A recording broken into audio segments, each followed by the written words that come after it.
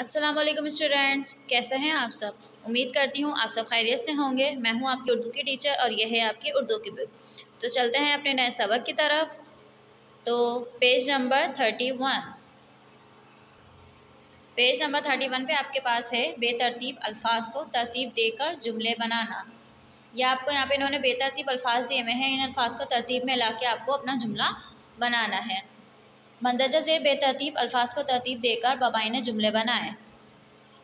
हमें जो है इन को तरतीब अल्फाज को बेतरतीब, अल्फाज को तरतीब देकर अपने जुमले बनाने हैं। जैसे पहला क्या है?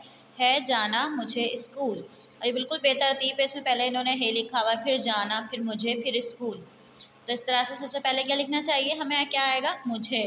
सबसे पहले क्या आएगा? मुझे स्कूल जाना है तो ये एक तरतीब आ गई ना जुमले की, फिर हम यहाँ लिख देंगे। मुझे स्कूल जाना है। तो ये तरतीब आ गई कि मुझे स्कूल जाना है। इसी तरीके से देखें, है वो अच्छी लड़की। ये भी बेतरतीब सा है है वो अच्छी लड़की। तो सबसे पहले क्या आना चाहिए? वो अच्छी लड़की है। तो हम यहाँ पे क्या लिखेंगे? वो अच्छी लड़की है। इस तरह से देखें, रहना चाहिए साफ़ हमेशा। ये भी बेतरतीब सा है। तो यहाँ पे क्या आएगा? हमेशा, पहले आएगा, हमेशा साफ़ रहना चाहिए। किस तरह लिखेंगे ये? पहले हम क्या लिखेंगे? हमेशा साफ़ रहना चाहिए। अब यहाँ से आप लोग जो पहले जो हमने पहले वन नंबर पे मार्क किया हमेशा लिखेंगे, फिर उसके बाद आएगा साफ़ फिर रहना, फिर चाहिए। अगला देखते हैं, है ख़त उसने लिखा। अब ये बेतरतीब है, इसको तरतीब में लाने की सबसे पहले क्या आएगा? उस ने ख़त लिखा है। तो ये क्या जुमला हो जाएगा? उसने ख़त लिखा है। इस तरह से चौथा जुमला देखें, रहा है वो क्रिकेट खेल। इसमें पहले क्या आना चाहिए? वो क्रिकेट खेल रहा है। अब क्या है? दोस्त है वो मेरा। अभी भी बेतरतीब है, इसको तरतीब में लाने के लिए क्या करेंगे? वो मेरा दोस्त है।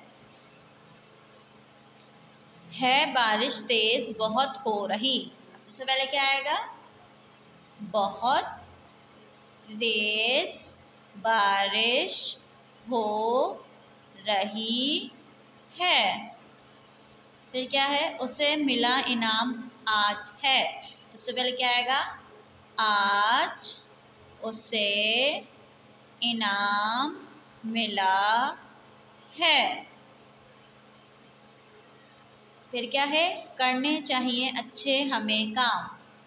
तो सबसे पहले क्या आएगा? हमें अच्छे काम करने चाहिए। लास्ट क्या है आपके पास? रखी किताबें मेज़ पर हैं। तो इसमें क्या आएगा? मेज़ पर किताबें रखी हैं।